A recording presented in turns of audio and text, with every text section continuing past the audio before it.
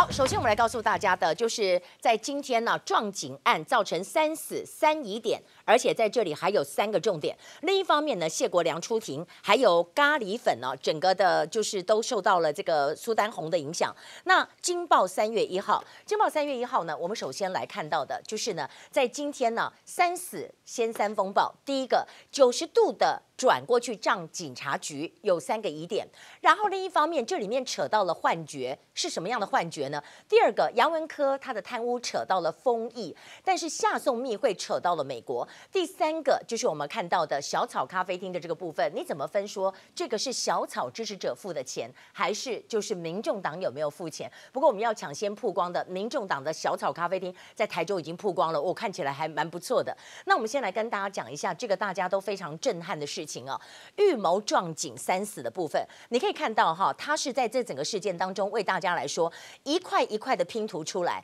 他本来昨天晚上在共寮的家里面大叫一声啊，突然就穿了内裤冲出去，然后到八点钟就是在共寮奥这个奥迪的渔港啊，他就是偷开一个货车，他要开往基隆。开往基隆之后呢，开往基隆在路当中就是台六十二万瑞快速道路的向西的十六公里的地方就追上了重机。三十八岁的巡路员，他是开着重机，开着黄牌的重机在那边巡路，结果没想到就被撞，然后。掉下了护栏，不幸死亡。然后他之后还没有停，一路往前撞，到十点钟的时候，九十度大转弯，直接撞了八堵派出所。二四位的男子，也就是呃苏玉红，当场不幸死亡。还有女警，我们看到的就是呢廖新田，他是呢惨被压在货车底下。那结果在这里就一死一伤。所以你看到在这里还没有结束，他自己呢这个嫌犯，他又穿越了暖暖平交道，他又跳下去，在铁轨当中走，走了一段时间。间就被区间车给撞而死亡，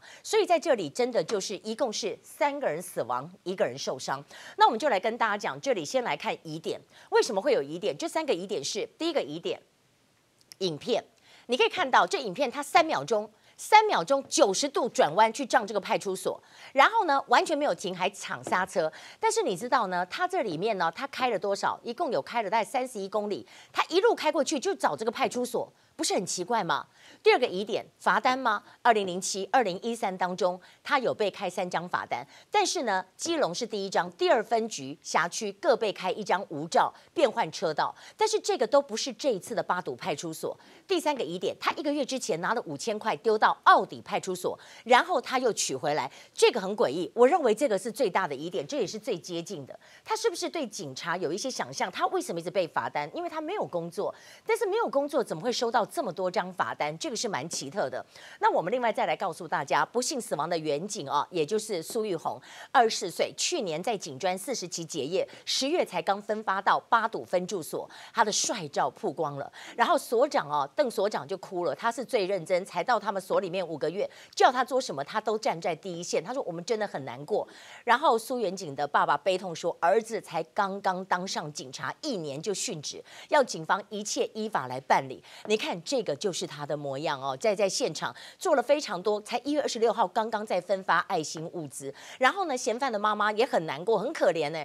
他们一家，她老公早就过世，然后三个小孩，大儿子情绪不稳。二女儿也住院，然后三儿子就这个儿子就开车出去撞死了一堆人。